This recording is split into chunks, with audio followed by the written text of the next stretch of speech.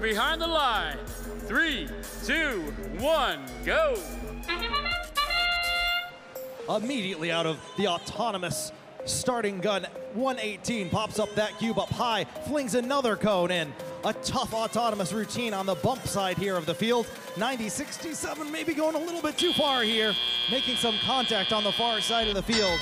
And we see some flags being waved here in our first period of play. Red comes out with the early lead 43 to 36. Both alliances getting docked and engaged here in our opening period. 118 first to strike for the Blue Alliance, the Gold and White Machine. They pop a cone up high, find another one at midfield here as their Alliance partners, the Nerd Herd from California, make a deposit and head back to their loading zone.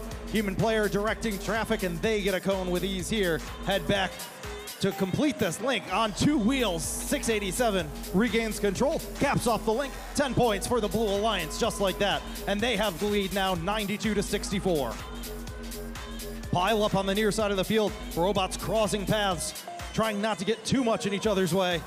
Slowing down these offensive teams. 118 caps off another link here for the Blue Alliance. That's two for Blue.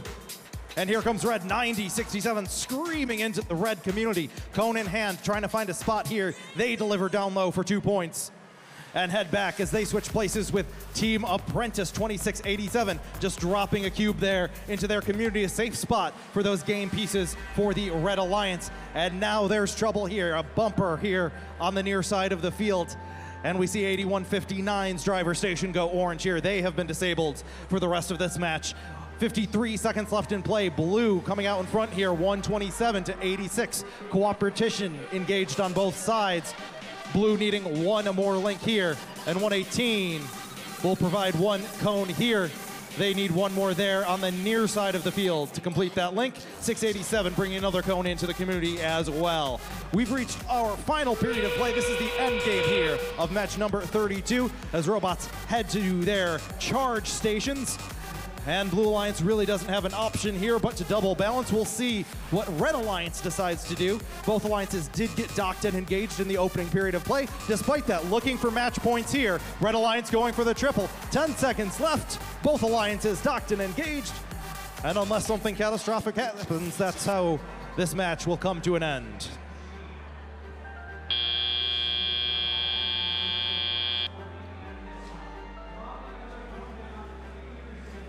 175 to 136. All six ranking points once again here on the field. Both alliances getting the activation bonus there. You see 42 charge station points for red and 32 charge station points for blue. You also see 39 penalty points for the